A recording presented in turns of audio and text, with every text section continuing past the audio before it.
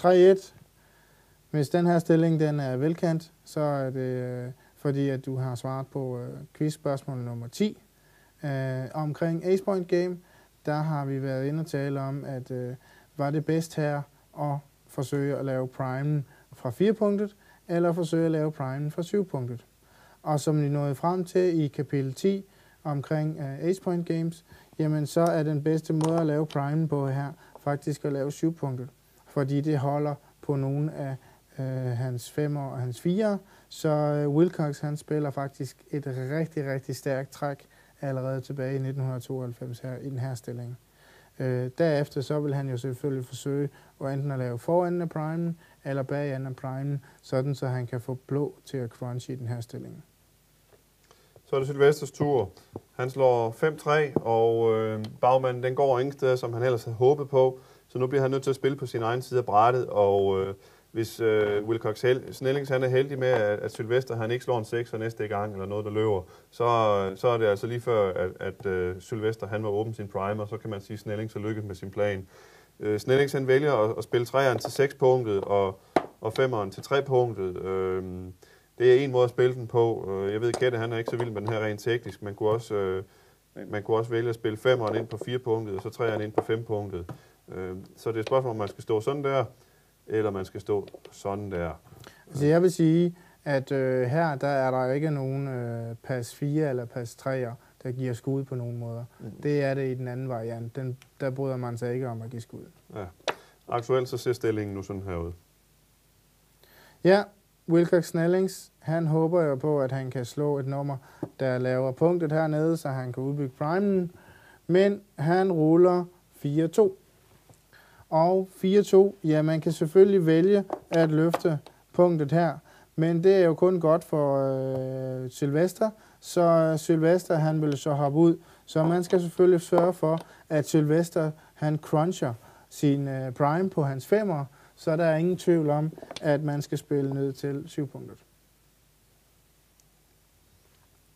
Så er det Snellings tur, og øh, Snelling han slår et rigtig, rigtig skidt nummer. Han vil endnu en gang gerne have været ud over Prime, men øh, han finder desværre kun pas 5 i koppen, og, og den er tvunget at spille. Den går nemlig således her 2 ned på to punktet. Wilcox vil rigtig gerne ud med en brik nu, så han kan komme ud og styre outfielden. I den her sekvens, der ruller han dog så en pas 3'er. Han kan dermed komme til at lave sin 5'er prime, og så kan han ikke spille mange andre end at holde sin prime, så han bliver faktisk nødt til og suge sin overskydende brik ned på 4 punktet. Mm. Så er det Sylvesters tur, og Sylvester han slår 5-1. Øhm, femmeren, den er simpelthen dræbt, den kan ikke spilles nogen steder, så det var der en lille fordel ved at, at, at, at løfte sit, uh, sit syvpunkt. Øhm, desværre kan det ikke lykkes at løbe ud over hans 5 prime med en 5, så han har kun netter, der skal spilles, og den vælger han at spille øh, fra 6 til 5. Hvilket er meget fornuftigt. Det bevarer en mere fleksibel struktur. Ja, Wilcox, han øh, kunne egentlig godt tænke sig måske 5-1'eren, så angribe. Men øh, 6-3 er heller ikke noget dårligt slag. Så øh, Wilcox, han springer ud i det store outfield, og da han ikke har mange andre træer at spille, så tager han ud og søger kontakten med de sekser, der hopper ud. Mm. Og øh, endelig lykkes det Sylvester at slå en sekser, og den øh, bliver akkompagneret af en toer. Sekseren hopper over primen, og øh, nu står han i en afstand af 6 til Wilcox Snellings øh, brik, så han vælger toren, med toren at rykke lidt tættere på for at minimere skuddene og dels at komme lidt tættere på, på hjemlandet. Ja, Wilcox, han er rigtig, rigtig nødvendig til at slå et slag nu, der kan få fat sådan, så at øh, Joe Sylvester han ikke smutter hjem af. Så Wilcox han er heldig her og rullen en 3 og hitter. Der er ikke mange andre muligheder end at sætte ham på banen. Barn, han skal ned bag prammen igen. Sylvester, han danser. Wilcox Snellings, han vil gerne ud med flere sekser, så han kan komme ud og få lavet en primer, han kan komme ud og få styret outfield, han kan komme hjem med brikkerne. Men øh, han ruller faktisk et slag, der begynder at knase lidt. Dobbelt 4. Nu er Wilcox rigtig nødt til at lave tre punkter. Og øh, da han ikke har lyst til at stille sine brækker ovenpå øh, nogle steder, hvor der i forvejen står spærres, så bliver han nødt til at flytte en ekstra brik ind på trepunktet, sådan så han i det mindste har nogle byggere til at lave øh, to punktet med. Sylvester danser med pas 4. Wilcox Snellings, han ruller et slag, der begynder at knase endnu mere for ham. Han ruller 5-3. Man kan ikke spille femmeren mange andre steder end udvendigt, og øh, man skal ikke slå i den her stilling, så bliver man ramt, og så bliver man sat ned bag primen. Så han vil bare gerne forsøge at spille herind, så han har nogle bygger. De små, de bygger til at lave to eller et punktet, sekserne hopper, og femmerne, de knaser. Mm. Så er det Snellings tur. Han er en, eller Sylvesters tur, og han øh, danser desværre endnu en gang. Snellings, han kommer på banen med 4-3. Det er ikke et slag, der kan hoppe ud. Han er meget nødvendig til at hoppe ud, men han bliver nødt til at lave et punktet, frem for at give skud og lave to punktet. Så uh, Snellings han uh, prøver at bevare et eller andet form for, uh, for bord, der kan sørge for, at, uh, at han kan vinde det her spil. Mm. George Sylvester, han danser endnu en gang, lad os bare sige med 4-3. Ja, så ruller Wilcox Snellings double 1. Uh, man kan sige, at halvdelen af double 1 er et godt slag fordi det kan lave full prime. Men det var den gode nyhed. Den dårlige nyhed, det er, at han ligesom bliver nødt til at løfte bagfra. Og dermed så får vi sekser konkurrencen mod hinanden. Desværre for Snellings, så skal han bare bruge tre sekser. Hmm. Man kan lige tilføje her, at en, det er altid, i sådan en situation er det altid rigtigt at løfte bagfra, fordi det dræber nummerne. Nu løber han med sekserne, femmerne, de kan ikke spille, så det er kun de små numre, der kan spilles på, på egen side af brættet. Så det er, det... Og i det her tilfælde med to, to øh, ekstra spærres på fem punkter, så kan han holde fempunktsbordet i et pænt stykke tid. Ja. Så er det Sylvesters tur. Han danser. Snellings, han ruller 5-2. Snellings vil gerne ud over med en 6'er, men det kommer man ikke hver gang. Men han kan holde bordet, netop fordi han havde så mange spærres op på 5 punktet, så han spiller ganske simpelt til 3 punktet. Mm. Så er det Sylvesters tur. Sylvester han danser med 5-1.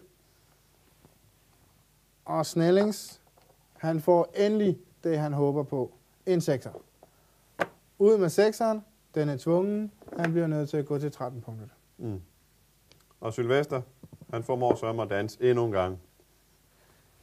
Snellings, han, øh, han håber stadigvæk på 6'er, og øh, Sørme jo, han får endnu en. Så Snellings, han jumper ud. Han bruger 6'eren til at hoppe ud, men kan vi sige noget om etteren her? Er det, skal man gå ned og stille sig sådan med dækker, hvis han kommer ud med en 6, eller hvad? Jeg vil ikke have lyst til at komme ned i øh, et øh, direkte dobbelt 6'er, der lige øh, sætter tre mand på baren, og så er man pludselig ude i en gammon-sekvens igen. Vi skal, øh, vi skal ud af den her dobbelt 6'er, så vi, øh, så vi kan få et etterskud dernede fra, og så gar en 6 etter er nu en kæmpe joker. Okay. Sylvesters tur. Endnu en dans.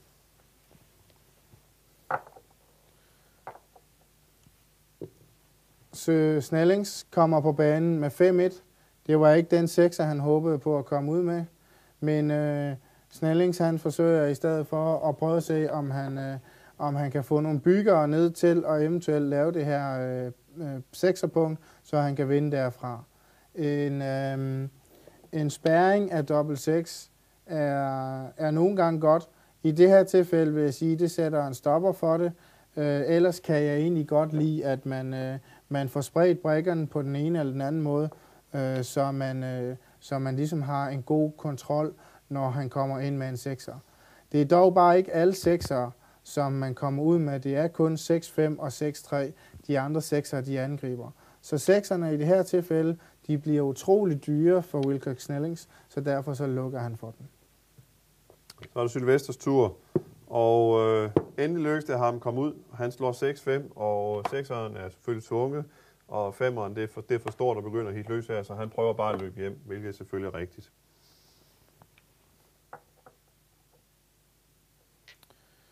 Wilcox Nærings kommer på banen med en etter.